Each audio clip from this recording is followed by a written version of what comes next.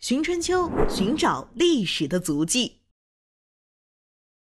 大家好，欢迎收看本期《寻春秋》。在第二次鸦片战争期间，英法联军对万源之源圆明园进行惨无人道的掠夺，我国的众多国宝级文物被迫散落在世界的各个角落。为了挽救这些文物，建国后国家文物部门以及海外华侨华人做出巨大贡献。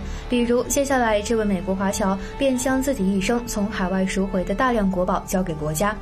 然而，就在交接过程中，这些国宝竟被人离奇调包。这些国宝至今下落不明，国宝失踪案至今让世人议论不断。据相关资料记载，这位捐献国宝的美籍华侨名叫王继谦，他一生酷爱收藏文物。当他得知我国的众多国宝流落在美国时，一度痛心不已。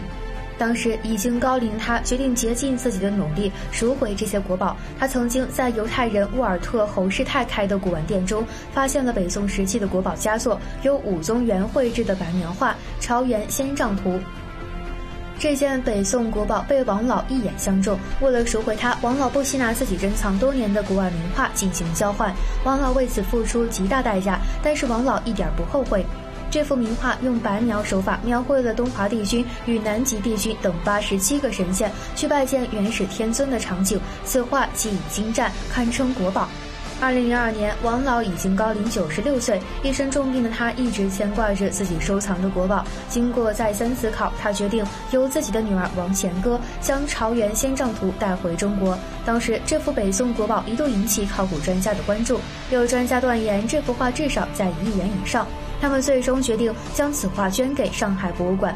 由于捐献国宝的程序十分繁琐，王老的家人决定先将此物放到上海一家银行保险柜进行保管。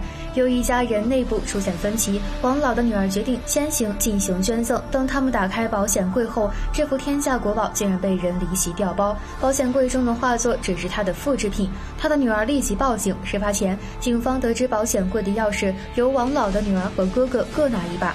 由于两人各执一词，法院最终没有给出合理的解释。这件国宝的下落至今成谜。读者们，你们认为国宝去哪儿了？本期的寻春秋到此结束。